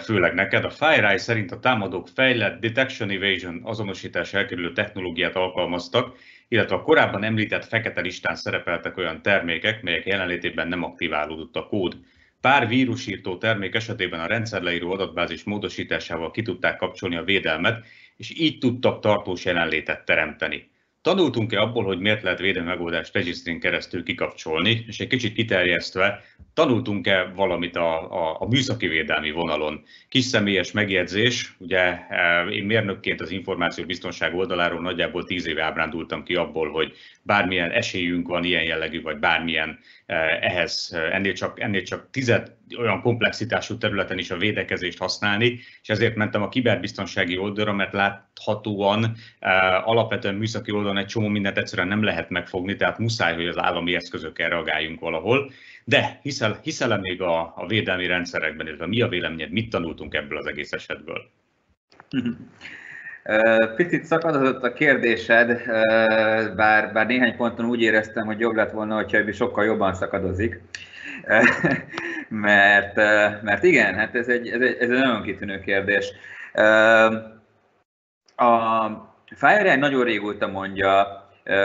legalább egy 6-7 éve mondja, hogy, ha nem több, hogy az utópia, hogy a védelmi rendszerek mindent ki fognak védeni. Most is látjuk, hogy azért nyilván ezek közül a cégek, intézmények közül néhánynál igen fejlett volt a védelem, mégis bejutottak. Nem az a kérdés, hogy mindent ki tudunk-e védeni, nyilván törekedni kell egy jó védelemre, egy jó elsőkörös védelemre, de sokkal inkább feladat az, hogy, vagy egyre inkább tolódik el a hangsúly abba az irányba, hogy ne csak kivédjük, vagy kivédeni próbáljuk a támadásokat, hanem a felismerésre is helyezzünk minél több hangsúlyt. Amikor mi elkezdtünk a fire foglalkozni, nem tudom, nagyjából 10 évvel ezelőtt, akkor bőven 300 nap fölött volt emlékeim szerint a támadás kezdete és az, a támadásnak a felismerése közötti időintervallum. Tehát gyakorlatilag több mint egy évig, vagy nagyjából egy évig észrevétlenül voltak benne a támadók egy tipikus hálózatban egy tipikus támadásnál. Ráadásul akkoriban a mm, körülbelül 70-80%-át, ha jól emlékszem, külsősök jelezték ezeknek a támadásoknak az áldozat számára. Például kijutott mondjuk egy üzleti titok, és máshonnan nem juthatott ki, mint, mint a megtámadottól. És akkor a partnercég jelezte, hogy haló, itt valami nem stimmel, és, és valahogy tőletek kiszivárgott, és akkor, akkor ezt így felgöngyörítették.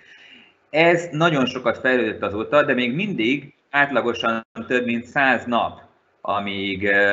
fölismerik a megtámadottak azt, hogy, hogy meg vannak támadva. Ebben a mostani esetben is ugye azt látjuk, hogy 2019 őszén indultak konkrétan ezzel kapcsolatban, vagy ezzel a, a módszerrel a támadások, és, és jutottunk el egy picit több, mint egy évvel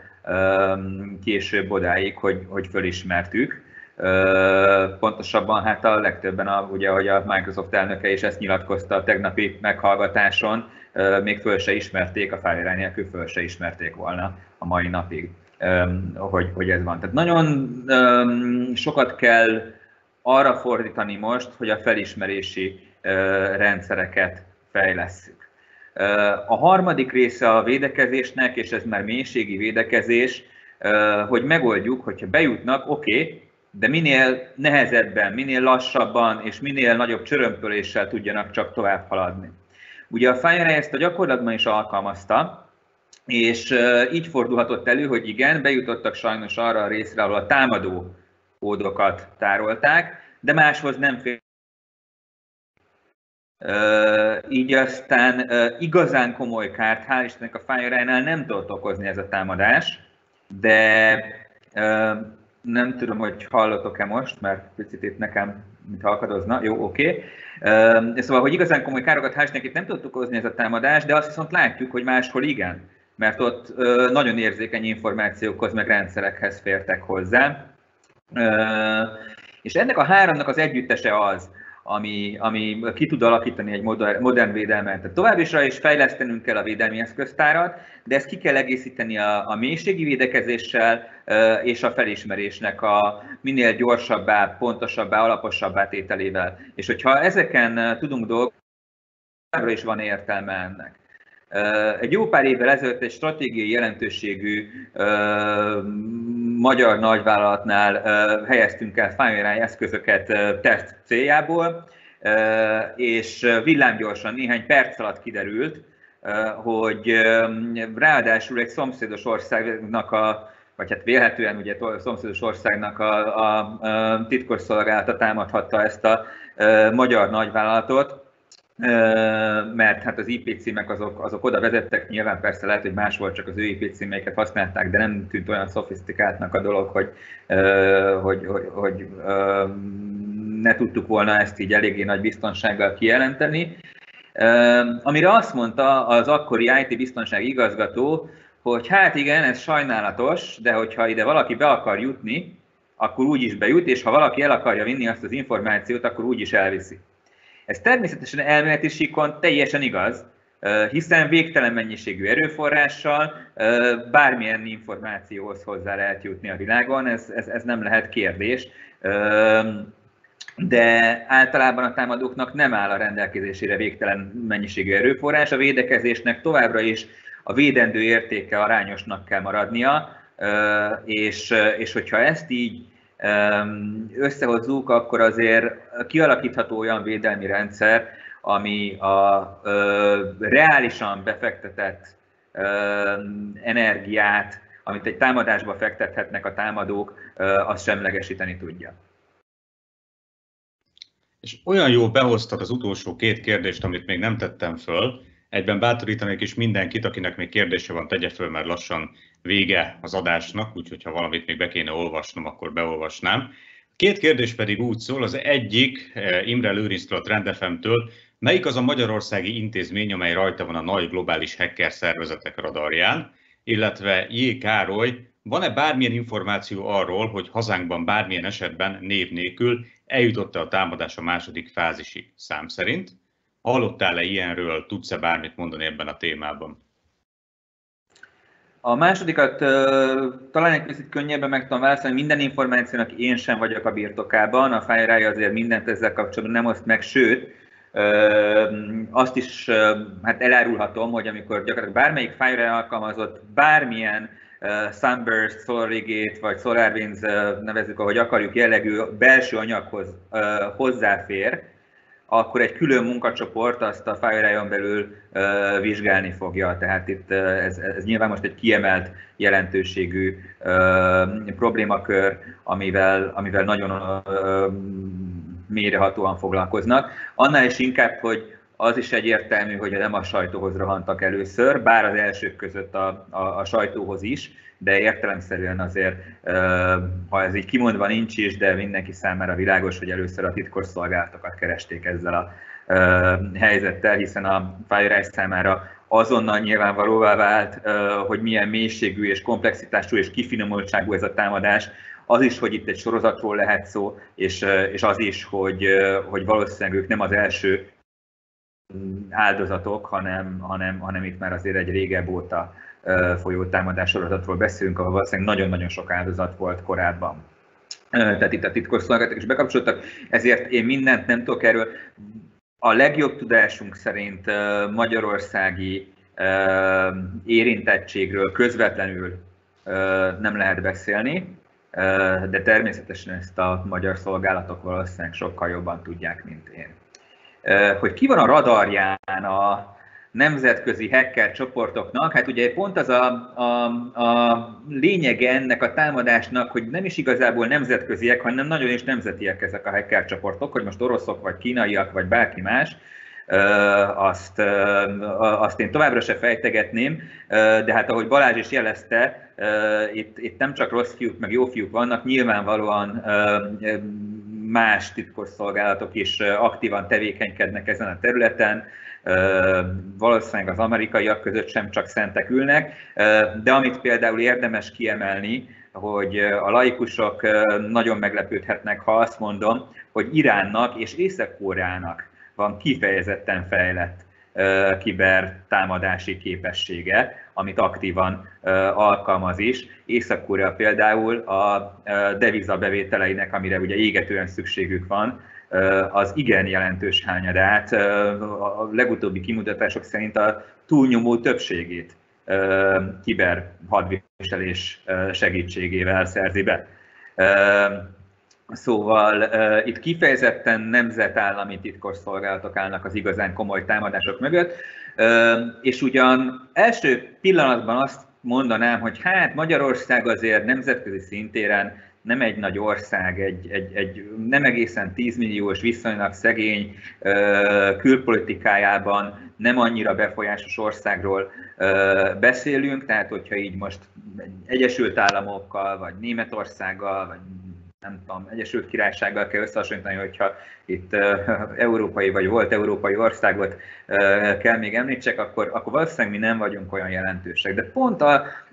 mostani támadássorozat mutat rá erre a supply chain problémára, hogy ugye mi is NATO tagok vagyunk, mi is Európai Unió tagok vagyunk, hozzáférünk a központi rendszerekhez, és elképzelhető, hogy a magyar képességek és erőforrások azok nem akkorák, mint mondjuk a német vagy francia hasonló erőforrások, akik nyilvánvalóan sokkal jelentősebb számú eurómilliárdot tudnak elkölteni, és sokkal nagyobb számú szakértőt tudnak hadrendbe állítani a védekezésre.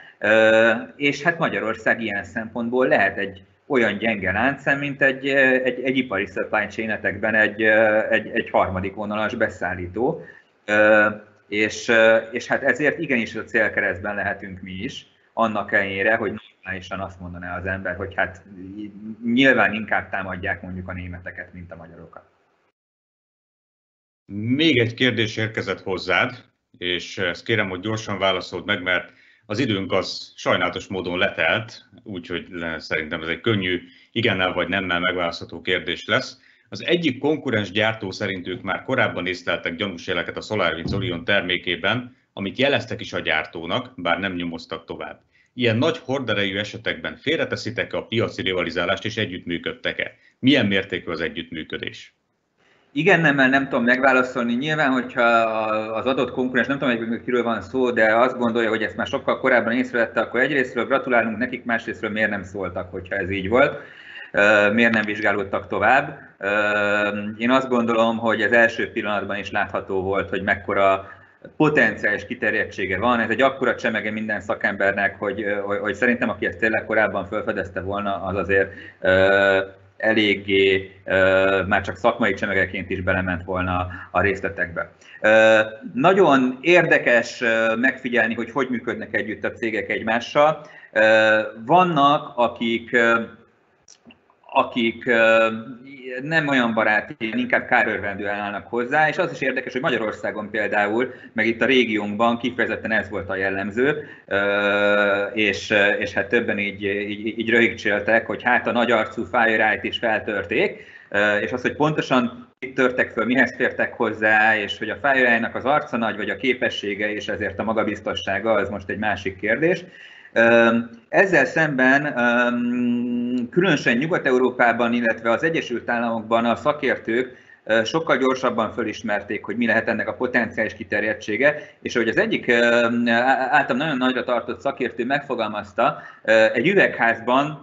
nem hadonászunk kalapáccsal, mert előbb-utóbb az ránk is ránk omlik. Tehát például azoknak a cégeknek a magyarországi képviselői, akik ilyen kárőrvendő kijelentéseket tettek, majd két hónappal később kiderült, hogy ők jóval régebb óta érintettek voltak, sőt, vastagon hozzájuk a korrendszerekbe jutottak be, és föl sem ismerték februárig a, a, a támadást, hát ők szerintem itt Magyarországon most egy picit furcsán érezhetik magukat, viszont ugyanezeknek a cégeknek a képviselői az Egyesült Államokban kifejezetten visszafogottan és a FireEye támogatandóan nyilatkoztak, mint ahogy ez általában is jellemző volt. És például, ahogy a másik nagy érintett, a Microsoft ugye itt a, a, az új elnöknek a nyilatkozatából is láthatóan sokkal inkább együttműködött a fire ebben a kérdésben, ennek a támadásnak a felderítésében. Ez kifejezetten jellemző azon túl, hogy jók a személyes kapcsolatok bizonyos nagy gyártóknak a szakemberei között, azért, azért itt jellemző az, hogy összefognak, és, és próbálnak megoldást találni egy közös problémára, mert a nap végén ez a civilizációnknak, a nyugati euróatlanti civilizációnknak egy, egy, egy közös kihívása, és ezen belül is a szakmának, az IT biztonsági szakmának is egy közös kihívása, hogy ugyanez hogy van hírszerzési vonalon, ott csak feltételezésekbe tudnék bocsátkozni, ezt meghagyom másoknak. Közben jött a válasz a, a Unit 42-ról van szó egyébként, ahol kérdező ezt hozzátette. Uh-huh. Viszont az időnk a sajnos elment, és bár biztos, hogy rengeteg, rengeteget tudnánk beszélni erről, engedjék meg, hogy zárásképpen itt a már korábban említett New York Times cikknek az utolsó bekezdését fordítsam le, amit Ellenem Lord, a Pentagon korábbi tisztviselője a Trump adminisztrációban eresztette, és őt idézik, ami így szól, hogy 9-11 után mindenki azt mondta, hogy ó Istenem, a különböző hírszerzési csoportoknak mind megvolt az információja, de nem osztották ezt meg egymással. Ez valójában egy nagyon-nagyon hasonló szituáció, hiszen um, alapvetően ugye részinformációk azok nagyon sokaknál voltak. Ez, a, ez az a pillanat, amikor egy tiszta lapot kell nyitni és átnézni azt, hogy a különböző szabályzatok és szabályozók egyébként eh, miért és hogyan tiltják meg az információ megosztást a helyi, az állami, illetve a szövetségi kormányzati szervek között, és miért nem csatornázzuk be ezt az egészet egy eh, csatornába, és itt akkor erről rögtön fel is sejlik eh, Bruce Neyer, itt a mi kiberbiztonsági területennek a nagy apostolának és nagy megmondó emberének a cikke egyébként szintén megnyilvánult ebben a témában, de egy régi mondás az úgy néz ki, hogy igazából az, a kiberapokalipszis négy lovasa, a gyermekpornográfia, az emberrablók, a drogkereskedők és a terroristák azok, akiken keresztül a mindenkori államok képesek arra, hogy a szabadságjogainkat korlátozzák. Úgyhogy nem tudjuk még pontosan, hogy mihez fog ez vezetni. 9-11 után láttuk, hogy hogyan erősödött meg az amerikai hírszerzés, és láttuk azt Edward Snowden szivárogtatásaiból majd tíz, bő tíz évvel később, hogy mindez hova vezetett. Valami hatása biztos, hogy lesz, és én egészen biztos vagyok benne, hogy nem ez volt az utolsó beszélgetésünk a SolarWinds ügy kapcsán. Én azt gondolom, hogy össze ezt folytatni fogjuk, majd az akkori tanulságok kielemzésével, Viszont a mai napra megköszönöm először is Mártonfi Balázs, az Amerika Kutató Intézet intézetvezetőjének, és Nemes, Dániel, Nemes Dánielnek, a disztribútor elnökének, hogy itt volt velünk ezen a mai beszélgetésen. Természetesen megköszönöm mindenkinek, aki nézőként itt volt. Remélem, hogy hasznos információkat adtunk. Tartsanak továbbra is velünk, a Facebookon kövessék a Kiberbiztonsági Kutatóintézet eseményét a NUPS Cybersec oldalon, illetve a honlapunkon a kbki.udi.nk.hu oldalon. Ezeket a beszélgetéseket folytatjuk, remélem, hogy előbb-utóbb személyesen is. Vigyázzanak magukra, szép estét kívánok mindenkinek, viszontlátásra! Viszontlátásra!